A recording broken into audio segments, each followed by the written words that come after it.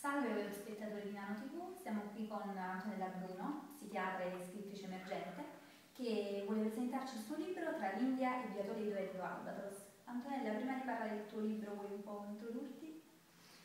Beh sì, per me rapidamente, mi chiamo appunto Antonella Bruno, sono un medico, una psichiatra che vive e lavora ad Avellino e che con questo libro Tra l'India e Via Toledo edito dal gruppo Albatros in filo alla sua prima esperienza di scrittrice. Perché tra l'India e via Toledo? Perché è una breve raccolta di racconti di cui il primo ambientato per l'appunto in India, il terzo e ultimo ambientato a Napoli con riferimento ad alcuni luoghi molto precisi come appunto la popolarissima via Toledo. Non c'è un filo conduttore tematico che li colleghi, perlomeno non ho inteso questo nel momento in cui li ho scritti. Riflettendoci a posteriori, però almeno per i primi due, Cenerentola e la viaggiatrice, che hanno anche più strette somiglianze stilistiche, c'è una sorta di nodo drammatico comune, un'esperienza contrastata e sofferta dell'amore che si apre però a una possibilità di riparazione e speranza. Così Giulia, la viaggiatrice, nella quale in realtà io adombro mia duplice esperienza di eh, viaggio in una missione indiana,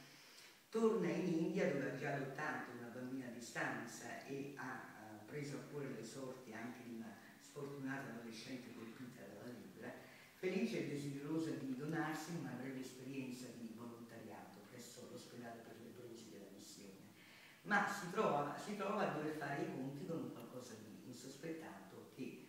eh, stende una lunga ombra su questo suo soggiorno anche se in qualche modo riparata, ecco lo spiraglio di, di speranza, di ricomposizione, dal linguaggio amoroso di piccoli gesti, delle complicità che lei comincia ad intessere proprio in un luogo di immaginazione e sofferenza come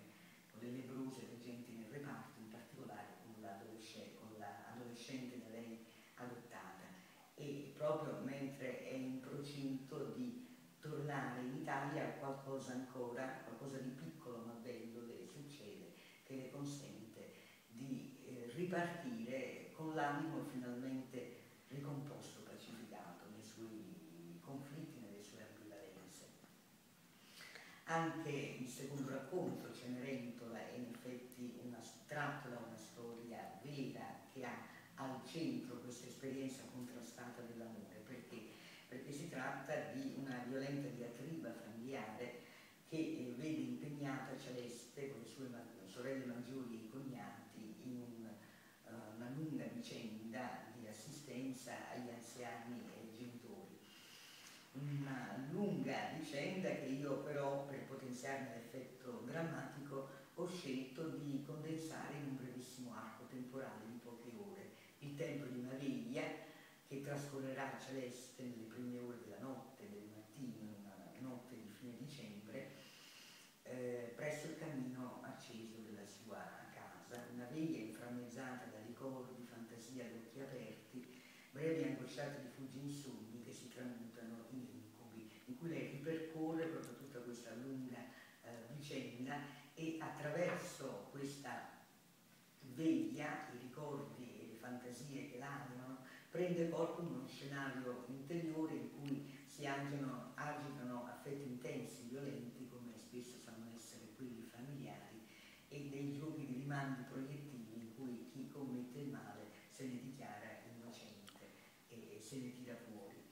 Ci sarà anche qui uno spiraglio conclusivo dalla sua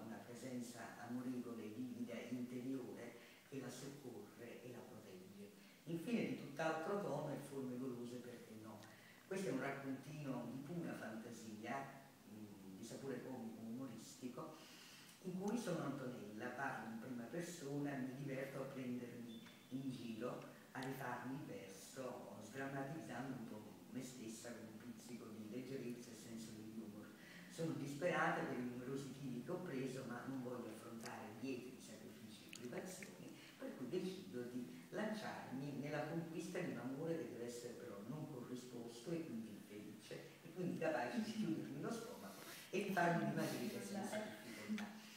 Però per colmo di sventure in relazione ai miei intenti, quest'uomo ha un modo tutto particolare di omaggiarmi, che è qualcosa di veramente dilettevole per il mio palato, ma è meno devastante per la mia linea appena già parecchio appesantita.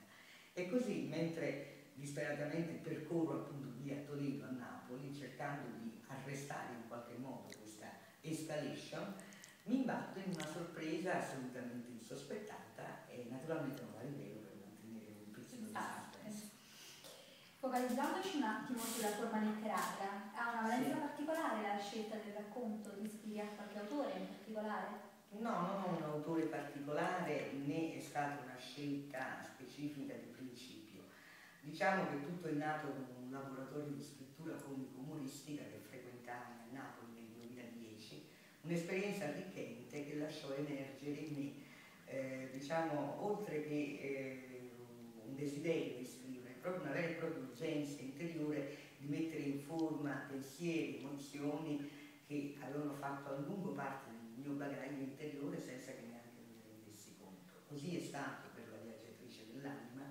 dove ho voluto in qualche modo riesplorare me stessa e liberare un grumo molto denso di luci di ombre, di forti e contrastanti emozioni queste mie due esperienze di viaggio, così anche per Cenerentola dove ho voluto suggellare un po' in forma di testimonianza una storia che altrimenti potrebbe veramente risultare di avere quasi dell'incredibile. Quanto a forme golose, un vero e proprio divertimento, nell'estate del 2010, alla fine di questo laboratorio, fummo invitati noi allievi a scrivere un breve racconto di sapore comico umoristico di quei raccontini spensierati da potersi leggere così in relax, magari in spiaggia sotto l'ombrellone. E l'ho ambientato a Napoli per il calore desiderato della napoletanità che ho trovato si sintonizzasse bene con i toni fondolieri, scanzonati di questo racconto. L'India con i suoi profumi, le sue condensate, i suoi colori è il luogo del cuore di Giulia e leggendo la dedica forse anche il tuo. Come nasce questa passione? Eh, eh, L'India nasce innanzitutto come luogo della memoria, diciamo, della riparazione per un grave lutto che mi colpì nel settembre 2004 con la perdita di mia madre. Qualche mese più tardi decisi di adottare una bambina a distanza, ma solo a distanza di tre anni da quell'adozione sentì che era giunto finalmente il momento in cui avevo le energie sufficienti per affrontare le incognite di viaggio in India completamente da sola per andarla a conoscere. È un angolo visuale senza dubbio molto piccolo, anche di natura molto particolare, trattandosi di una missione cristiana, che pure dato modo di osservare luci e lumbre, fra le luci la gentilezza, la mitezza dei sorrisi, dei saluti, l'uso di, di avere un fiore tra i capelli, di intrecciare incredibili ghirlande, queste donne, la festa di colori, di luminosità dei sali, dei Sudidar e anche un'atmosfera di spiritualità, cioè un, una sorta di clima favorevole penso prescindesse dalla natura del luogo, che è una missione, ma perché fa parte proprio della temperie di quel popolo. Naturalmente anche ombre, povertà, miseria, emarginazione, un misto di rassegnazione vari livelli, dall'ignoranza del singolo, la suddivisione in caste ancora attuale, sebbene formalmente abolita, all'inerzia delle autorità governative, per cui una malattia attualmente curabilissima, con da libera, se precocemente diagnosticata, però è ancora responsabile di ulcere, di esiti, di disabilità eh, devastanti. Ecco, è, un po' notoriamente tutto questo è in India, per sentito dire, ma vederlo proprio sotto i miei occhi questo mix di bellezza e di atrocità è stato un fatto che mi ha assolutamente stupito e rimane in fondo profondamente misterioso agli occhi occidentali. Tre donne sono le protagonisti dei tuoi racconti. Se dovessi tratteggiare un loro profilo, come le descriveresti? Beh, per Giulia Antonello ho avuto a disposizione me stessa, due differenti sfaccettature in fondo della mia personalità, mie due anime blu-arancio, dove il blu è il colore dell'attitudine meditativa anche profonda l'arancio dell'energia, della solarità, anche dell'impulsività. Giulia è una donna meditativa, appassionata, ma anche un po' impulsiva, molto fantasiosa. Lei idealizza molto con un alto investimento emotivo, ma rischia di andare incontro a brucianti disillusioni, come succede un po' per questo luogo della memoria degli affetti che l'India è diventata nel suo cuore. Fortunatamente però a controbilanciare i due pesi c'è l'altra anima, quella arancio di Antonella, una bambina irriducibile che una volta consumata la disillusione, il dolore, torna ancora con questa voglia di, di giocare, di mettersi in gioco e anche di prendersi un po' in giro come appunto le forme golose, perché no.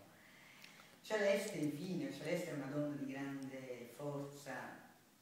interiore, una forza organizzatrice, pianificatrice che però proprio in questa vicenda si disvela paradossalmente in un rovescio di fragilità, nel momento in cui Celeste deve confrontarsi con